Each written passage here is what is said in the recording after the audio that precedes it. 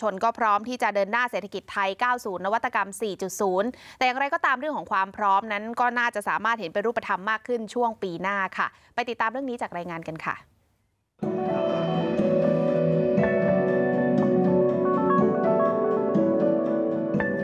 นายสมคิดจาตุศรีพิทักษ์รองนายกรัฐมนตรี รับมอบผลสรุปการประชุมสัมมนาหอการค้าครั้งที่ 34 ผ่านสมุดปกขาว จากนายอิสระว่องกุศลกิจ ประธานกรรมการหอการค้าไทย พร้อมขอบคุณภาคเอกชนที่มีความเข้าใจว่ารัฐพยายามผลักดันประเทศไปในทิศทางเศรษฐกิจ 4.0 ซึ่งแนวทางที่เอกชนนำเสนอในครั้งนี้ เชื่อว่าจะทำให้เศรษฐกิจไทยเติบโตขึ้น เชื่อว่า GDP ของประเทศอาจมีโอกาสเติบโตร้อยละ 5-6 เหมือนในอดีต เพียงแต่ต้องเปลี่ยนโครงสร้างการทำธุรกิจนำดิจิทัลเข้ามาใช้ในภาคสินค้าและบริการ รวมถึงก้าวให้ทันเทรนด์ของโลกยุคใหม่ โดยคาดว่าในปี 2560 ไทยจะเริ่มเข้าสู่ยุคไทยแลนด์ 4.0 อย่างแท้จริง ถึงแม้ว่าเศรษฐกิจโลกจะยังคงชะลอตัว แต่ปีหน้าผมเชื่อว่าจะเป็นปีที่มันจะเป็นปีที่เริ่มไปสู่การขับเคลื่อนอย่างแท้จริง นะครับรัฐบาลชุดนี้เนี่ยมีเวลาเหลือทำงานจริงๆเนี่ยประมาณ 1 ปีฉะนั้นจะไม่มานั่งเสียเวลาหรือว่ามาต่อรอต่อทีกับใครนะครับ เราจะขับเคลื่อนทุกโครงการที่เราหวังรักฐานไปในปีนี้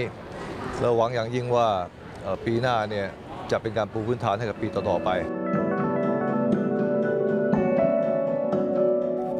ายกรัฐมนตรียังแนะนำให้นักลงทุนไทย ออกไปลงทุนในกลุ่มประเทศ CLMV แทนที่จะพึ่งพาแรงงานจากประเทศเพื่อนบ้าน เพราะถึงเวลาที่เหมาะสมแล้ว และจะช่วยให้เกิดการส่งออก การลงทุน ส่งผลให้เศรษฐกิจเติบโตมากขึ้นขณะที่นายสุวิทย์เมสินทรีรัฐมนตรีช่วยว่าการกระทรวงพาณิชย์เชื่อว่า การเปลี่ยนผ่านจากไทยแลนด์ 3.0 ไปสู่ไทยแลนด์ 4.0 จะต้องมี 3 กลไกในการขับเคลื่อน คือการสร้างความมั่งคั่ง มั่นคง และยั่งยืน โดยบทบาทสำคัญอยู่ที่นักธุรกิจรุ่นใหม่ ที่จะต้องช่วยกันระดมความคิดนวัตกรรมใหม่ หรือที่เรียกว่าดีไซน์ทิงกิ้งโดยมีหอการค้าไทยเป็นพี่เลี้ยง เพื่อให้เข้าถึงลูกค้าได้มากที่สุด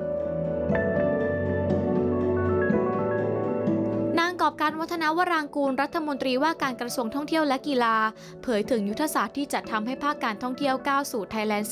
4.0 มีทั้งหมด 5 ยุทธศาสตร์ด้วยกัน ซึ่งจะเน้นยุทธศาสตร์ที่ 4 และ 5 เช่นดิจิทัลทัวริซึมขยายความร่วมมือกับกลุ่มประเทศ CLMV และอาเซียน รวมถึงแก้ไขปัญหาธุรกิจผิดกฎหมาย บูรณาการการบริหารและการจัดการ พร้อมฝากถึงเอกชนโดยเฉพาะธุรกิจท่องเที่ยว ให้ตั้งใจทำหน้าที่อย่างสุดความสามารถ เพราะเป็นสิ่งที่จะช่วยขับเคลื่อนประเทศ โดยการสร้างรายได้จากการจ้างงานค่ะ ข่าวเทรัฐทีวี รายงาน